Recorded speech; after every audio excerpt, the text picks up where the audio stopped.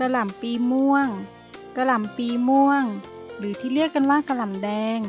ในคลิปนี้ขอเรียกว่ากระหล่ำปีม่วงนะคะ ส่วนมากเราจะเห็นกระหล่ำปีม่วงในเมนูสลัดผัก เพิ่มสีสันสวยงามน่ากินให้กับเมนูต่างๆ วันนี้เรามาทำความรู้จักกับกระหล่ำปีม่วงอย่างละเอียดกันเลยค่ะ มาชมกันเลยค่ะ กระหล่ำปีม่วง มีลักษณะหัวค่อนข้างกลม ส่วนใหญ่มีอายุเก็บเกี่ยวประมาณ 90 วันค่ะ ต้องการอากาศหนาวเย็นพอสมควร กระหล่ำปีม่วง มีวิตามินและแร่ธาตุที่มีประโยชน์ต่อร่างกาย มาติดตามชมกันต่อค่ะ สารอาหารในกระหล่ำปีม่วงค่ะ มีโปรตีน คาร์โบไฮเดรต เส้นใย โซเดียม วิตามินเค วิตามินซี ธาตุแคลเซียม ธาตุเหล็ก สารอินไทรบีน สารซัลเฟอร์ สารแอนโทไซยานีนประโยชน์ของกะหล่ำปลีม่วงมีอะไรบ้าง มาติดตามชมกันต่อค่ะ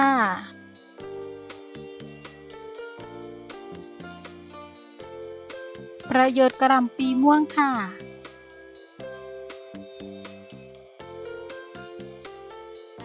กระหล่ำปีม่วง มีสารอินไทบีน เมื่อกินเข้าไปจึงรับรู้ได้ถึงรสขมมากกว่ากระหล่ำปีทั่วไปค่ะ เหตุที่ขมกว่าก็เพราะกระหล่ำปีม่วง มีสารอินไทบีนนั่นเองค่ะ สารอินไทบีนมีความสำคัญต่อร่างกาย จะช่วยเผาผลาญสารอาหารในร่างกาย และกระตุ้นให้เลือดไหลเวียนไปเลี้ยงตับ ไต ถุงน้ำดีและกระเพาะค่ะ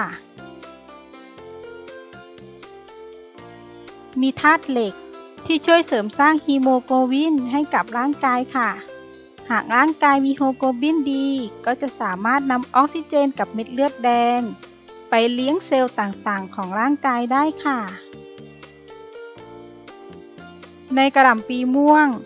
มีวิตามินซีสูงกว่ากระหล่ำปีทั่วไปถึง 2 เท่าค่ะ วิตามินซีในกระหล่ำปีม่วง ทำหน้าที่เป็นสารต้านอนุมูลอิสระที่ดี และช่วยป้องกันโรคเลือดออกตามไรฟันค่ะกระหล่ำปีม่วง สามารถควบคุมน้ำตาลในเลือดของเราได้อย่างดีค่ะ สามารถดูดซึมน้ำตาลส่วนเกินของร่างกายของเราได้ สามารถช่วยการขับของเสียออกจากไตได้ค่ะ ช่วยลดคอเลสเตอรอลได้ค่ะ ไฟเบอร์ในกะหล่ำปลีม่วง มีส่วนสำคัญที่ทำให้ผักชนิดนี้ กลายเป็นอาหารที่ช่วยลดคอเลสเตอรอลได้ ไม่ว่าจะเป็นในรูปแบบผักสดหรือการนึ่ง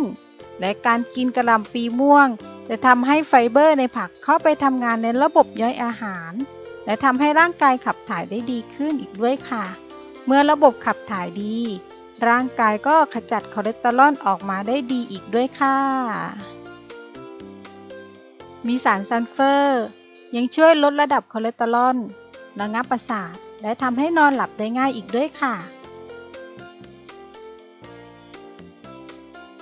ทำให้รู้สึกผ่อนคลายความตึงเครียด จึงทำให้นอนหลับดีขึ้น วิธีกินคือ การนำกะหล่ำปลีม่วงไปคั้นสดๆแล้วนำมาดื่มค่ะบำรุงสมอง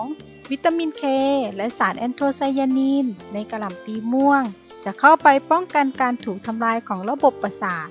และบำรุงสมองไม่ให้เกิดโรคอัลไซเมอร์หรือสมองเสื่อมค่ะ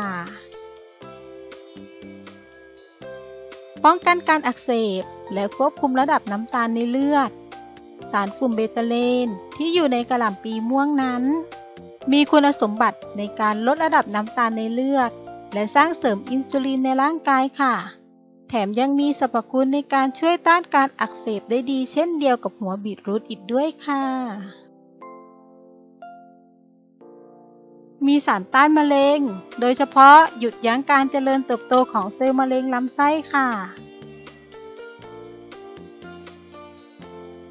กระหล่ำปีม่วง มีสาร S วิทริเมทโอนีนหรือที่เรียกกันว่าวิตามินยูค่ะ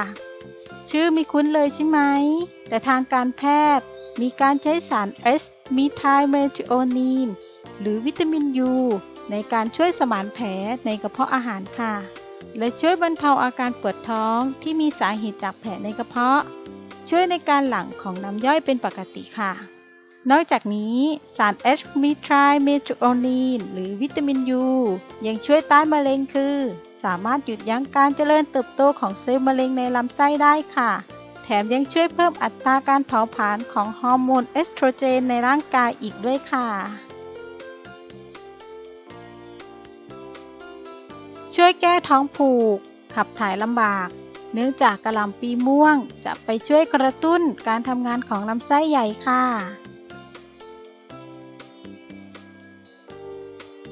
ใช้ประคบลดอาการปวด และคัดเต้านมแม่หลังคลอดค่ะ อาการปวดคัดตึงเต้านม พบได้บ่อยในแม่หลังคลอด ใช้ประคบแทนถุงน้ำแข็งหรือกระเป๋าน้ำร้อน คุณแม่ที่มีอาการเต้านมคัด สามารถใช้กระลำปีประคบเต้านม เพื่อลดอาการปวด รวมไปถึงการแก้นมคัดหลังคลอดได้ดีอีกด้วยค่ะ เนื่องจากกระหล่ำปีเป็นพืชสมุนไพรชนิดเย็น มีฤทธิ์ดูดซับความร้อน ช่วยลดการคลั่งของสารน้ำในเนื้อเยื่อบริเวณเต้านม ทำให้อาการปวดคัดตึงเต้านมลดลง อย่างได้ผลค่ะ วิธีใช้กระหล่ำปีบรรเทาอาการเต้านมคัด มีวิธีง่ายๆมาบอกค่ะ เพียงแค่ ใช้ใบกระหล่ำปีที่มีขนาดใกล้เคียงกับเต้านม จากนั้นนำไปล้างด้วยน้ำให้สะอาด แล้วนำไปแช่เย็นที่ช่องแช่แข็งค่ะ ประมาณครึ่งชั่วโมง พอครบเวลาแล้วนำออกมาจากตู้เย็นค่ะขยุ่มใบกระหล่ำปีด้วยมือเบา แกะเอาเส้นใยที่แข็งออก ใช้มีดบากหรือใช้เข็มแทงตามใบกระหล่ำปี เพื่อให้เส้นใยแตก แล้วนำไปหุ้มเต้านมทางเต้า และอาจถึงบริเวณใต้รักแร้ถ้ามีอาการบวมขึ้นใต้รักแร้สวมเสื้อชั้นในปิดทับ หรือใช้ผ้าพันทับไว้ ใช้เวลาประคบประมาณ 20 นาทีค่ะ เพียงเท่านี้อาการบวมต่างๆ ก็จะค่อยๆลดลงไปค่ะ แต่ข้อควรระวังคือ สำหรับการใช้กระหล่ำปีบรรเทาอาการเต้านมคัดนั้น ขอแนะนำว่า ไม่ควรทำมากกว่า 3 ครั้งต่อวัน เพราะทำให้ปริมาณน้ำนมลดลง และควรหยุดใช้เมื่อมีผื่นขึ้น หรือถ้าเริ่มมีอาการแพ้จากการใช้กระหล่ำปีค่ะ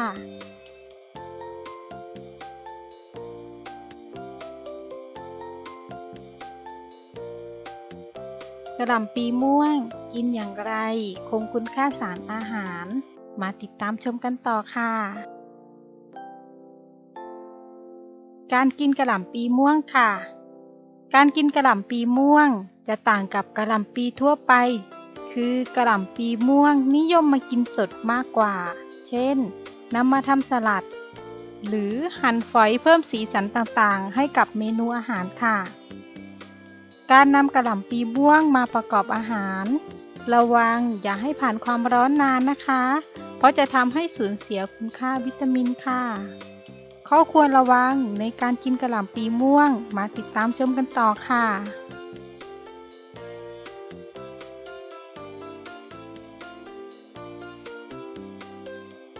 ข้อควรระวังในการกินกระหล่ำปีม่วงค่ะ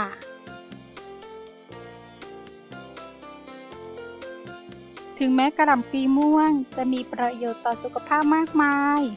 แต่การกินกระหล่ำปีดิบมากเกินไป ก็เป็นผลเสียต่อร่างกายได้ หากกินมากกว่า 1-2 กิโลกรัมต่อวันและกินอย่างสม่ำเสมอค่ะ เพราะในกระหล่ำปีดิบมีสารชนิดหนึ่งชื่อว่าไกลโทเจน หากเรากินอาหารที่มีสารชนิดนี้มากเกินไป อาจทำให้มีอาการท้องอืด แต่ถ้าสารนี้มีมากก็ขัดขวางการทำงานของต่อมไทรอยด์ค่ะ ทำให้นำไอโอดีนในเลือดไปใช้ได้น้อย ร่างกายจะขาดไอโอดีนทำให้เกิดโรคคอพอกได้ค่ะ โดยเฉพาะผู้เป็นโรคไทรอยไม่ควรกินมาก เพราะสารดังกล่าวเป็นลดระดับไทล็อกซินในเลือดได้ หากกินติดต่อกันเป็นเวลานานๆค่ะ แต่ถ้าทำให้สุกแล้วไม่เป็นไร เพราะสารนี้จะถูกความร้อนทำลายไป ถ้าต้องการที่จะกินแบบดิบๆ ก็ไม่ควรกินบ่อยครั้งจนเกินไปค่ะ เพื่อเป็นการป้องกันปัญหา ที่อาจจะเกิดขึ้นในระยะยาวค่ะกระหล่ำปีติดอันดับหนึ่งใน 5 ผักที่มีสารปนเปื้อนมากที่สุด การกินเข้าไปในปริมาณมาก อาจทำให้ร่างกายอ่อนเพลีย ปวดศีรษะ มึนงง หายใจลำบาก ขึ้นไส้อาเจียน มีอาการชักหรือหมดสติได้ค่ะ ก่อนนำมากินก็ควรล้างให้สะอาดก่อน โดยวิธีการลอกหรือปอกเปลือกออก แล้วแช่น้ำสะอาดประมาณ 10 นาที หลังจากนั้นล้างด้วยน้ำสะอาดอีกครั้ง จะช่วยลดสารพิษตกค้างได้ร้อยละ 25-72 ค่ะ ซึ่งเป็นวิธีที่ได้ผลที่ดีที่สุด และสำหรับวิธีอื่นก็เช่น แช่น้ำปูนใส การใช้ความร้อน แช่น้ำด่างทับทิม ล้างด้วยน้ำไหลจากก๊อก แช่น้ำสาวข้าว แช่น้ำส้มสายชูหรือเกลือป่น แช่น้ำยาล้างผักเป็นต้นค่ะ เลือกซื้อกระหล่ำปีจะเลือกยังไงมาติดตามชมกันต่อค่ะ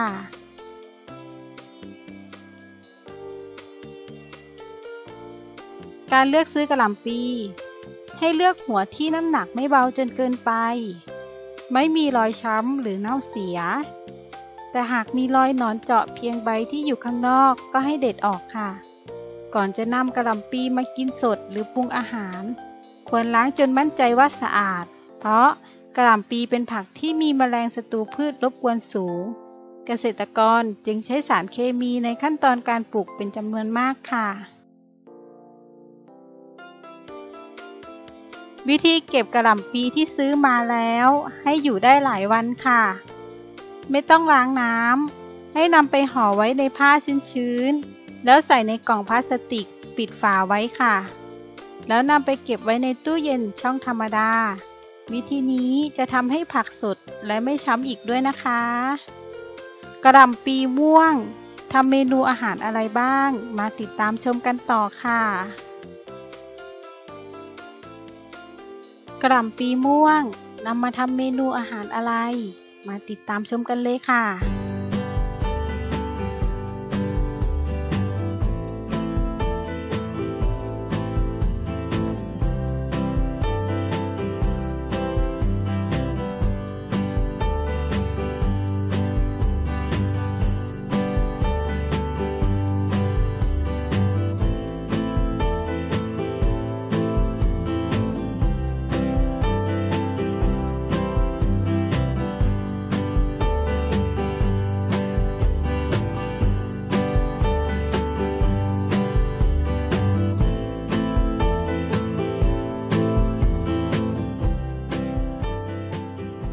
สุดท้ายนี้ ไม่ว่าจะเป็นกระหล่ำปีม่วง หรืออาหารประเภทไหนๆ ก็ขอให้กินแต่พอดี มากไปน้อยไปล้วนแล้วแต่ส่งผลกระทบต่อสุขภาพทั้งสิ้นค่ะ และอย่าลืมกินอาหารให้ครบห้าหมู่ ออกกำลังกายอย่างสม่ำเสมอ เพื่อสุขภาพที่แข็งแรงนะคะ ติดตามเรื่องราวใหม่ๆ อย่าลืมกดติดตามนะคะ แบ่งปันข้อมูลกดแชร์ ขอบคุณมากนะคะที่ติดตามผลงาน